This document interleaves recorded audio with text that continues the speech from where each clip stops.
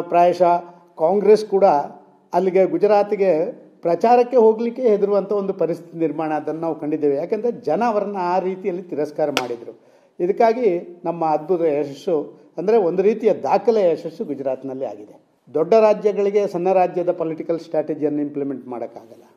Voter ಸಂಖ್ಯೆಗಳು ಗುಜರಾತ್ನಲ್ಲಿ ವಿಧಾನಸಭಾ ಕ್ಷೇತ್ರಕ್ಕಿದ್ದಂಥ ವೋಟರ್ಗಳ ಸಂಖ್ಯೆ ಮತ್ತು ಹಿಮಾಚಲ ಪ್ರದೇಶದಲ್ಲಿರುವಂಥ ವೋಟರ್ಗಳ ಸಂಖ್ಯೆ ಅಜಗಜಾಂತರ ವ್ಯತ್ಯಾಸ ಇದೆ.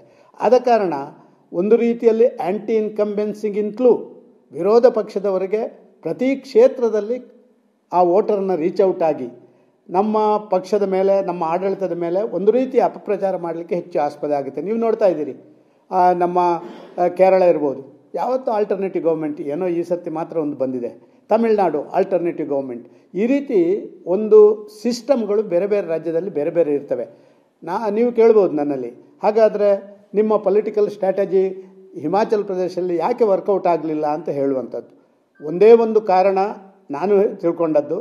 ಅಲ್ಲಿರುವಂಥ ಇತ್ತೀಚೆಗೆ ತಗೊಂಡಂಥ ಒಂದೆರಡು ಪಾಲಿಸಿಗಳು.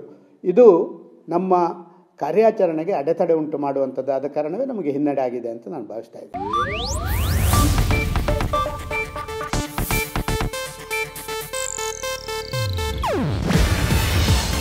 ಏಷ್ಯಾನೆಟ್ ನ್ಯೂಸ್ ನೆಟ್ವರ್ಕ್ ಪ್ರಸ್ತುತಿ.